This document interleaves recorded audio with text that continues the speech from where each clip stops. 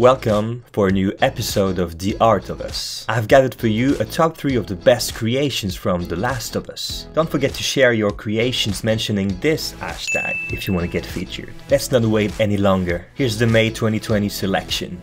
On third position we have a beautiful and colorful creation from Denis Istomin, better known as Gydwin. Gydwin is a digital artist from Russia that specializes in simplistic landscapes. Let's have a closer look of his interpretation of The Last of Us Part 2. He recreated the scene in which Ellie is on her way to a ghost town. She is riding a horse while gazing at the horizon, where the sun sets on a deserted city, fading the remains of our past civilization. The amount of details is truly impressive. The color palette is very well chosen to capture the timeless moment when the orange daylight slowly transitions to the purple of the night. It makes me think of the Middle Ages, a simplistic style for simpler times. On second position, we have a realistic portrait of Ellie by Jack Pemberton, better known as Pembo. Pembo is a video game artist and designer from the UK. He specializes in poster-like creations. Let's delve into this amazing portrait. Here, we can see a recreation of the famous scene where Ellie goes hunting with her rifle. Except that this time, she's not in the forest. She seems to be lost in her own conscience. There are a lot of different textures used here to depict her feelings and expression.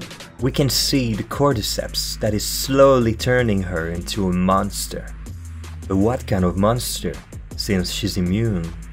Who is she hunting down? Only her fearless eyes have the answer. And our winner in first position is Ireland G.O, which is heartwarming pyrography. Ireland Gary O'Noonan is an artist from Florida that specializes in pyrography onto basswood. Let's have a closer look at this burning passion of his. It took him several days to recreate one of the most famous scenes from The Last of Us Part 1 the one in which Ellie regains hope after a traumatic winter season. It's almost the end of their journey, and she's not herself anymore. No more jokes, no more whistling. When all of a sudden she sees a group of giraffes casually wandering inside the abandoned city. It's the first time she sees such gigantic and beautiful creatures, as if it was something out of this world, and her eyes are filled with hope once again. It reminds me of the very famous scene from Jurassic Park. Ireland's pyrography is out of this world too. I mean, the amount of details here is just crazy. Each spot on the giraffe was carefully burned, and the same goes for the landscape, with the city, the plants and the flowers, even onto the Firefly logo and the shadows on Joel and Ellie's clothes. This piece is an inspiration for us all.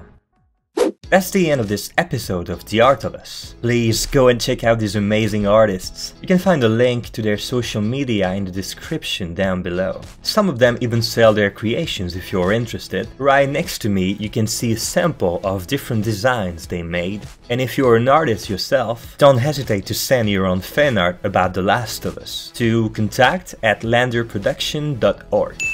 Make sure you hit the subscribe button if you enjoyed this episode and I'll see you guys on my next video.